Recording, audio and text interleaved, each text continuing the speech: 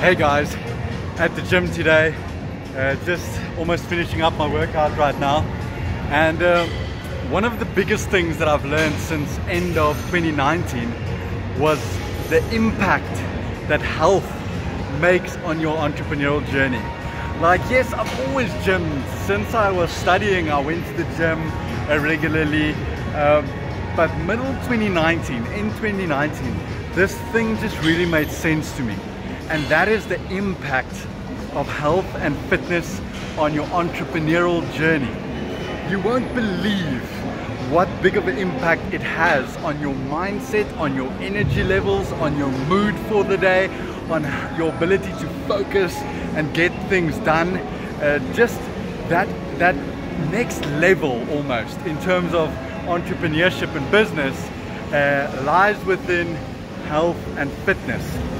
Uh, so since middle end 2019, I've been going to the gym every day.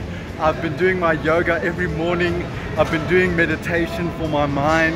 Uh, I've been eating a, a certain diet, uh, a blood type diet, and I've really been focusing on getting my health up there, being more fit, uh, having more energy, being more focused, and not just body, but also um, your mind's health. So physical health and your mental health. Getting both of those in top shape and you won't imagine what it can do for your business. So I really want you to focus on that and not neglect the physical and mental health and the role that it plays in finance, business, and your entrepreneurial journey. It just puts you on a whole new level of performance and you get more done, you're more productive, you're more efficient, and it just amps up Uh, that entrepreneurial journey of yours.